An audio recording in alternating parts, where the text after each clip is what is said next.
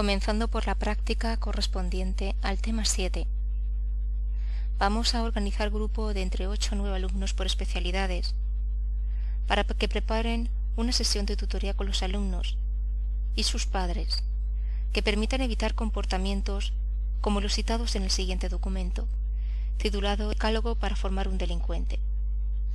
El popular juez de menores de Granada, Emilio Calatayud, conocido por sus sentencias educativas y orientadoras, ha publicado un libro, Reflexiones de un juez de menores, de la editorial Dauro, en el que inserta un decálogo para formar un delincuente.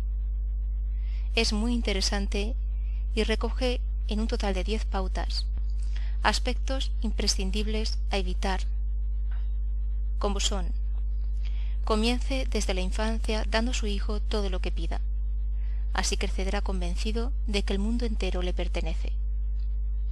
En segundo lugar, no se preocupe por su educación ética o espiritual. Espere que alcance la mayoría de edad para que pueda decidir libremente. Tercer lugar, cuando diga palabrotas, ríaselas.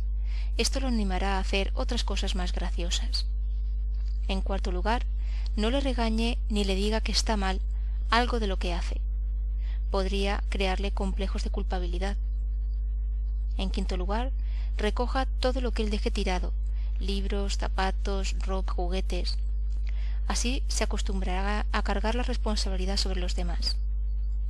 En sexto lugar, deje leer todo lo que caiga en sus manos. Cuide de que sus zapatos, cubiertos, vasos estén esterilizados, pero no de que su mente se llene de basura. En séptimo lugar, riña a menudo con su cónyuge en presencia del niño. Así a él no le dolerá demasiado el día en que la familia, quizás por su propia conducta, quede destrozada para siempre. En octavo lugar, dele todo el dinero que quiera gastar. No vaya a sospechar que para disponer del mismo es necesario trabajar. En noveno lugar, satisfaga todos sus deseos, apetitos, comodidades y placeres. El sacrificio y la austeridad podrían producirle frustraciones. Y en décimo lugar, póngase de su parte en cualquier conflicto que tenga con sus profesores y vecinos, piense que todos estamos aquí con prejuicios contra su hijo y que de verdad que todos queremos fastidiarlo.